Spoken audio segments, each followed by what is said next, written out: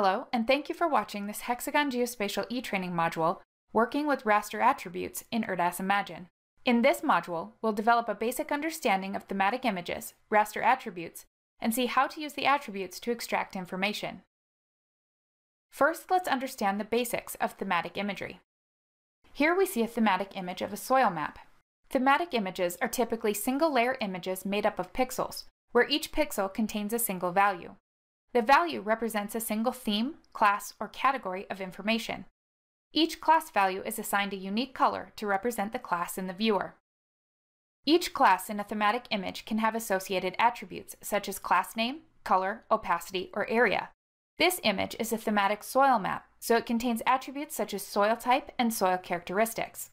Attributes can be added and some can be removed. They can be sorted or used in calculations to gain additional information. Let's open the software and see how to work with the attributes of an image. Begin by opening a thematic image. From the Quick Access toolbar, click the Select Layers to Add icon. Navigate to the directory that contains your file, select it, and click OK. This map represents soil in the region around the Wynoochee River Valley in Washington state.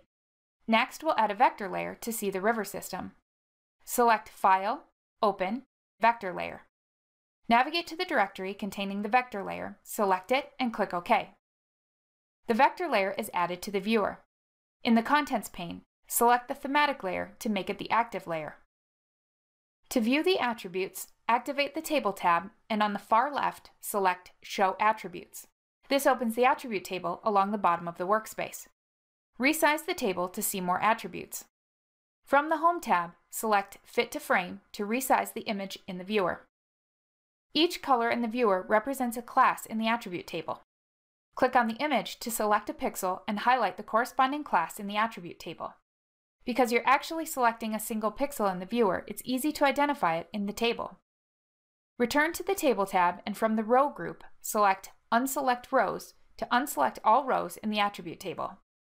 Identifying a class in the viewer from a row in the attribute table requires an additional step. Because a class is made up of many pixels in the viewer, we need to change the class color in the attribute table to see its location on the image. In the attribute table, click on a color patch and open the color chooser. Select a bright color that will be easy to identify in the viewer, such as chartreuse. Once selected, the entire class changes color in the viewer. To return to the original color, select the Undo button from the Quick Access toolbar. The attribute editor will only allow one undo, so always be sure to save a copy of your data before making changes. Again, from the Row group on the Table tab, click Unselect Rows. Next, we'll add an area attribute. Select Add Area from the Column group on the Table tab. In the Add Area column dialog box, select your units and define an attribute name. For this example, leave the defaults. Click OK to close the dialog. The column is automatically added to the attribute table. Because the image information includes pixel size, the area for each class is easily calculated using the pixel size and the histogram count. Now we'll use the area attribute to calculate the percent area each class represents of the entire map. To do this, we'll first calculate the total area, then create a new percent attribute calculated using a formula which divides the class area by the total area. First, we'll calculate the total area. Click the Area column heading to highlight the entire column right-click and select Compute Statistics. This opens a statistics box containing the computed statistics for the area column, including a total value. You may want to write down the total value and keep it handy. Before creating the formula, again click Unselect Rows from the Row group. This is good practice before running a calculation to ensure the calculation is applied to all classes. If individual classes are selected, the calculation will only be applied to the selected classes.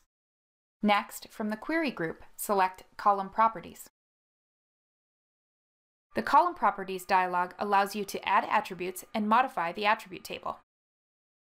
First, rearrange the existing attributes to make the table easier to read. On the left under Columns, we see the column headings listed in their left to right display order in the table. Select Color to display the attribute properties on the right. Uncheck Show RGB to remove the red, green, and blue columns from the attribute table. To create the new percent attribute, from the buttons on the bottom left, click New.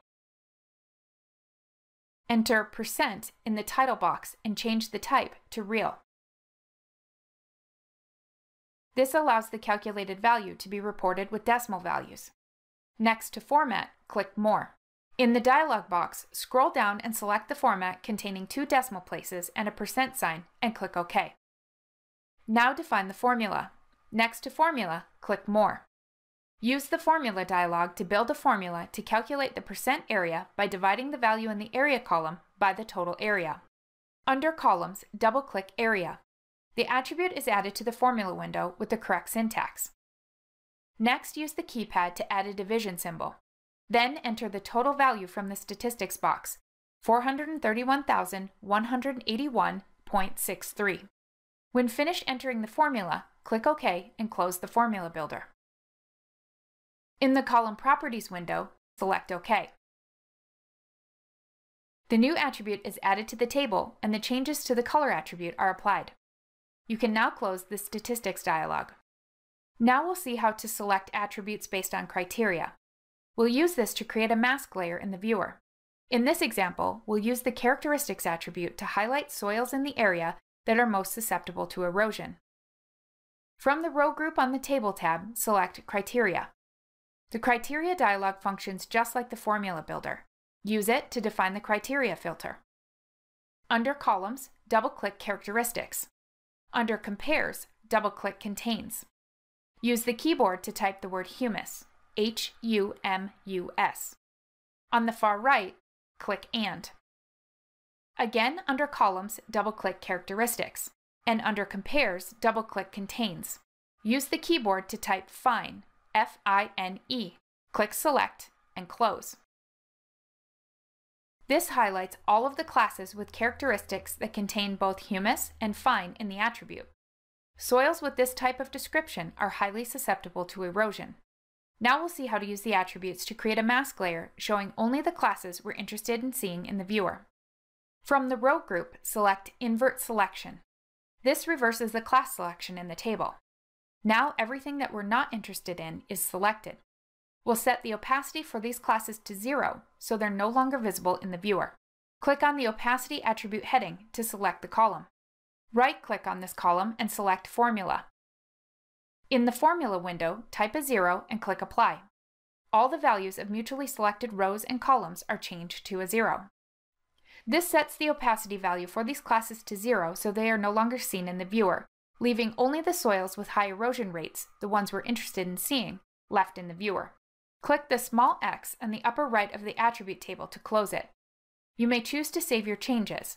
For our example, click No. Click the Clear View icon from the Quick Access toolbar to remove all data from the viewer. If needed, save your changes for future use. Thank you for watching this e-training module from Hexagon Geospatial. For more e-training, please visit hexagongeospatial.com slash e-training.